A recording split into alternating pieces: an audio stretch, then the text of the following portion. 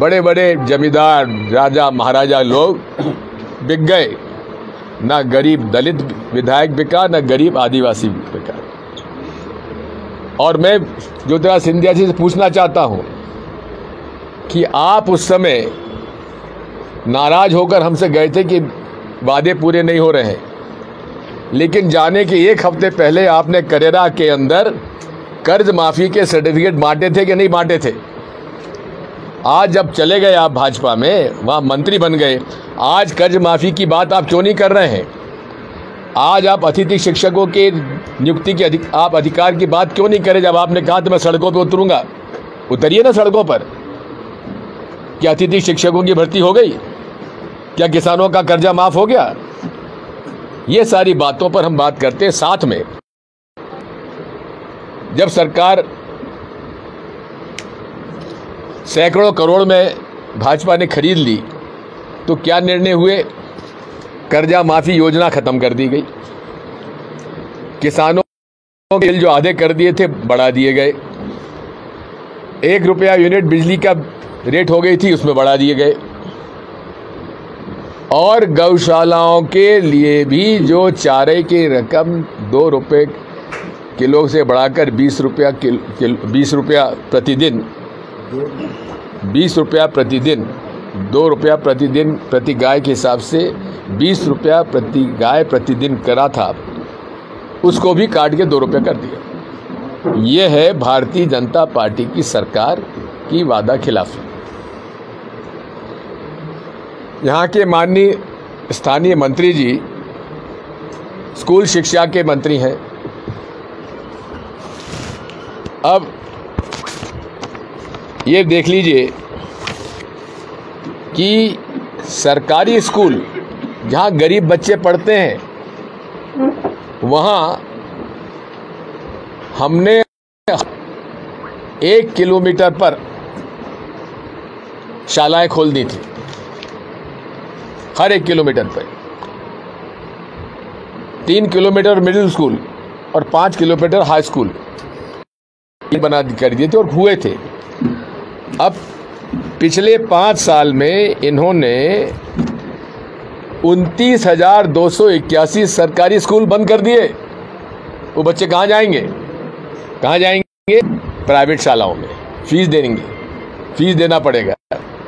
ये गरीब विरोधी निर्णय नहीं है। ये शिक्षा विरोधी की विरोधी निर्णय नहीं है।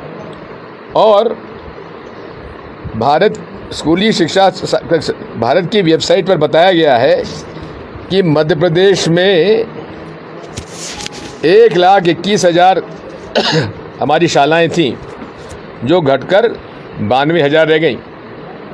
इसी प्रकार सरकारी स्कूलों में शिक्षकों की कमी। हम लोगों ने शिक्षक कर्मी की योजना चालू की थी। पंचायतों को अधिकार दिया था। लाखों शिक्षक कर्मी, पंचायत कर्मी, ये सारे नियुक्ति करने के अधिकार हमने पंचायतों को, जनपद पंचायत, जिला परिषद, नगर पंचायत नगर पालिका नगर निगम को दिए थे। जिससे स्थानीय बेरोजगार बच्चों को नौकरियाँ मिली थी। अब भाजपा के राज में मैं पूछना चाहता हूँ माननीय मंत्री जी से यहाँ के और मुख्यमंत्री जी से, कितने स्थानीय कितने स्थानीय लोगों को आपने नौकरी दी है? व्यापम की भर्ती आपको मालूम है? पैसा लाओ और व्यापम की नौकरी पा जाओ। हमने उस समय निर्णय किया था कि मध्य प्रदेश में जिसने हाई स्कूल और किया होगा, उसी को सरकारी नौकरी में लिया जाएगा। इन्होंने उसको भी खोल दिया। बाहर के प्रांतों के बच्चे आने लगे। हमको उनसे इतराज नहीं है, लेकिन हमारे मध्य प्रदेश के बच्चों का, बेरोजगारों का तो नुकसान हुआ। आज बैकलॉग के कम से कम सवा लाख पद खाली हैं। सवा लाख पद खाली हैं। उनकी भर्ती क्यों नहीं की जा रही है? भर्ती भी की गई। तो पेशा के कानून, जो पेशा का कानून हमने लागू कर दिया था सन अंठानवे से, आदिवासियों के हित में, उस पेशा के कानून को प्रचार करने के लिए उन्होंने लगभग एक हज़ार नियुक्तियाँ की। और किनकी की? जो कि आयोग युवकों युवतियों की, बिना किसी इंटरव्यू के, जिसे कि पूरे तरीके से माना जाता है। उन्होंने खाली पदों का विज्ञापन निकाला। उनसे फ़ीस वसूली। चार करोड़ फ़ीस वसूली। लेकिन दो दिन पहले कैंसिल कर दिया। दो दिन कैंसिल करने के बाद भर्ती कर ली। किन की भर्ती की? जो कि आयोग। अब मैं चड्डी छाप कहूँगा तो आप थोड़ा सा वैसा फील करेंगे। उस अपंजीकृत संस्था, राष्ट्रीय स्वयं सेवक संघ, जो कि अनरजिस्टर्ड बॉडी है, जिसकी कोई मेंबरशिप नहीं है जिसका कोई खाता नहीं है, उस खात ऐसे संस्था के लोगों की भर्ती की गई। जब कोविड के समय आरएसएस ने अपने ऑफिशियल ट्विटर कि हमने सात करोड़ रुपए का चंदा उगाकर लोगों को अनाज और दवाइयाँ बांटी। तो मैंने वित्त मंत्री जी को चिट्ठी लिखी कि कौन से खाते से खर्च हुआ? क्योंकि अपंजीकृत संस्था का खाता तो हो ही नहीं सकता। तो ये सात करोड़ कहाँ से आए? इन पर मनी लॉन्ड्रिंग एक्ट पीएमएलए के तहत कार्रवाई होना चाहिए। क्यों नहीं होना चाहिए? ये काला धन है कि नहीं है? सात करोड़ रुपए कहाँ से आए? ये मेरा लीगल प्रश्न है, मैं राज्यसभा में प्रश्न पूछता हूँ, मुझे जवाब नहीं मिलता। इतना ज़रूर है कि मैंने जब चिट्ठी लिखी कि पीएमएलए में इनके खिलाफ कार्रवाई को तो उसका एक्नॉलेजमेंट ज़रूर आया। बात यही है कि ये लोग जनबल से नहीं जीते, धनबल से जीते। और आज धन बल के आधार पर ही अपनी सरकार चला रहे हैं। मेन्यू हुआ है, इतना देव और ऑर्डर ले जाओ। माननीय गृह मंत्री जी के कार्यालय में ये साफ़ है, रिवॉल्वर का लाइसेंस के लिए पहले दो लाख रुपए की रेट थी। आजकल चुनाव पास में आ गया, उसका ख्याल रखते हुए उन्होंने अब रेट पाँच लाख। ये मेन्यू कार्ड है पूरा। जिसको रिवॉल्वर का लाइसेंस चाहिए, चले जाओ, पाँच लाख रुपए ना, अधिकारी जो उनके साथ काम करता है, उसका नाम और टेलीफोन नंबर आपको दे दूँगा, जाके रिवॉल्वर ले आओ लाइसेंस उसमें कोई जाँच पड़ताल की धन बल की ज़रूरत है। मैंने नाम ले लिया, ये ले अब ये देखिए कि मेन्यू कार्ड जन जन तक मौजूद है। क्या रेट टंगी हुई है भाजपा की, नेताओं की? अब आपके मंत्री जी की क्या रेट है, मुझे नहीं मालूम, शायद आपको मालूम हो। साथियों ये सारी बातें हैं। कोई प्रश्न पूछना चाहते हो तो पूछ लो। एनकाउंटर में आप क्या कहेंगे? इतना कहा जा चुका है मुझे कहने की ज़रूरत नहीं है। आपका एक लंबा राजनीतिक अनुभव है। सिंचाई मंत्री प्रदेश कांग्रेस अध्यक्ष राज्यसभा सदस्य मुख्यमंत्री एक कांग्रेसी नेता की हैसियत से नहीं एक बड़े हिंदुस्तान के राजनीतिक पंडित की हैसियत से 2023 में मध्य प्रदेश में कांग्रेस को किस स्थिति में पाते मैंने तो 2018 में भी कहा था सरकार हमारी बनी थी। सरकार बनी। आज भी कह रहा हूँ कि हमें अच्छे बहुमत से 2023 में मध्य प्रदेश में सरकार बनाएँगे और कमलनाथ जी को मुख्यमंत्री बनाएँगे। ममता बनर्जी ने एक बयान दिया है हाल ही में अभी के अगर कांग्रेस एकजुट हो जाती है तो मोदी के ऊपर राज गिरा सकते हैं। इसके बारे में क्या उन्होंने क्या कहा है?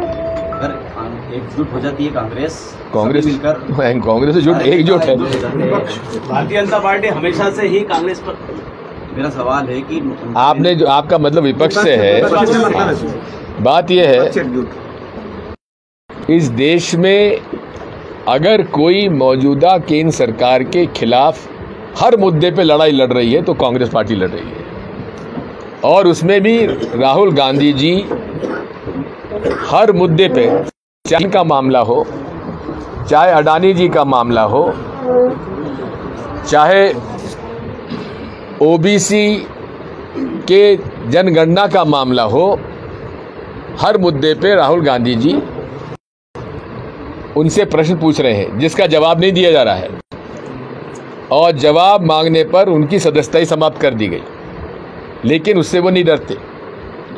हम लोग पूरे तरीके से लड़ाई लड़ रहे हैं। अब ममता जी को यह तय करना है कि वे इस बात को स्वीकार करें कि देश में खड़गे जी की अध्यक्षता वाली कांग्रेस ही विपक्ष का नेतृत्व कर सकती है।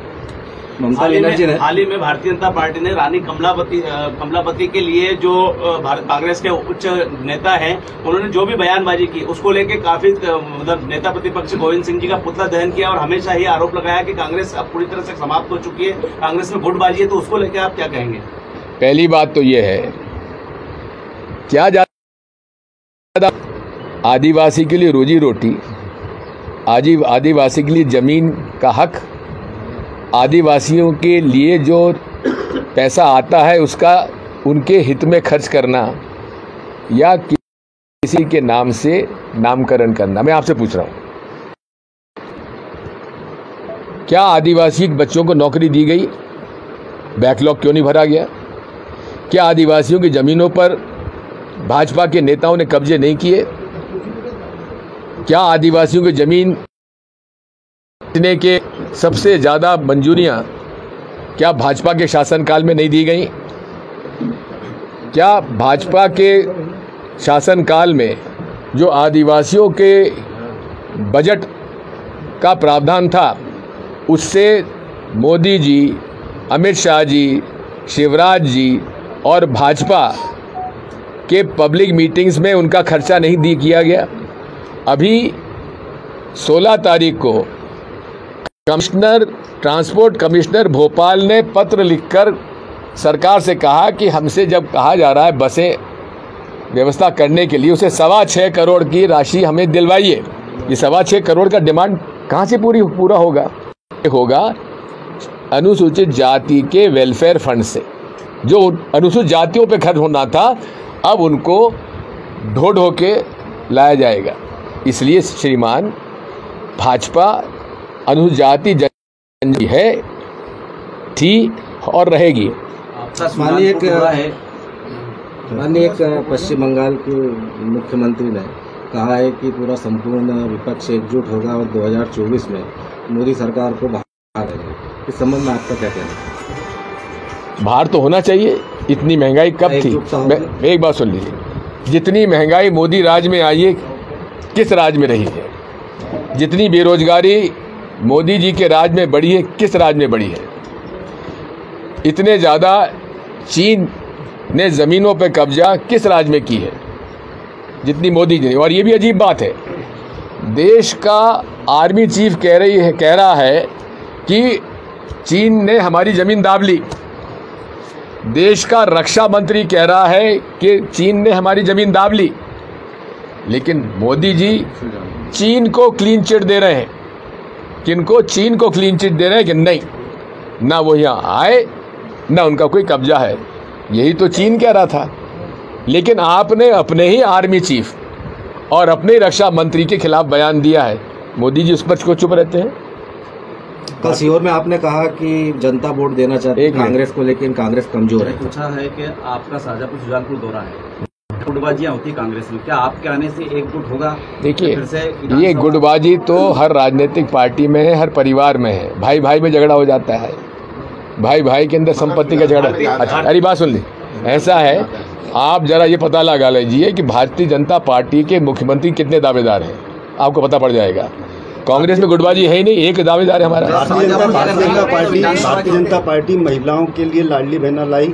भारतीय जनता पार्टी टिकटों में महिलाओं को 50 प्रतिशत आरक्षण की घोषणा कर चुकी है। आप क्या कह रहे हैं? पहली बात तो ये कि लाडली बहना की याद 20 साल बाद क्यों आई?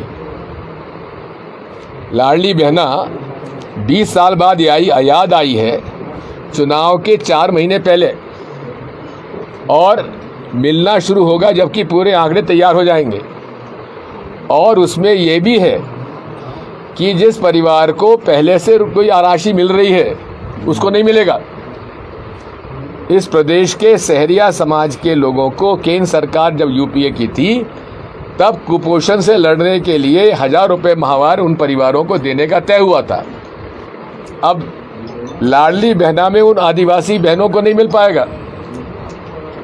तो ये केवल लुभावना वो है और हमारे योजना का चुराया हुआ है। हिमाचल प्रदेश में जब हमने डेढ़ हज़ार रुपये का मैनिफेस्टो में डाल दिया, तब हमारे मामा जी को अपनी बहनों की याद आई। तब पहले क्यों नहीं आई? मेरे कार्यकाल में बेरोजगारी मिलता था युवकों को।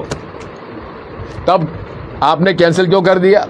अब चुनाव के पहले बेरोजगारी भत्ता आप अनाउंस कर रहे हो और उसमें भी दस शर्तें रखोगे। ये केवल झूठे आश्वासन है। कांग्रेस कहती है, वो करती है। चलिए।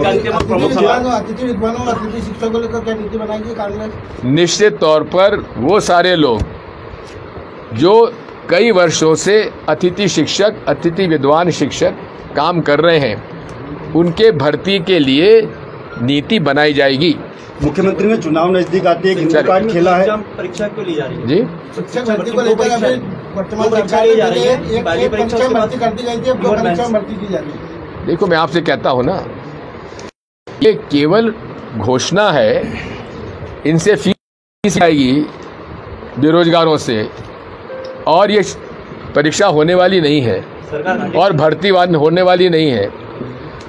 ये केवल जबकि हमारे शासन काल में बेरोजगार भर्ती का शुल्क नहीं लिया जाता था।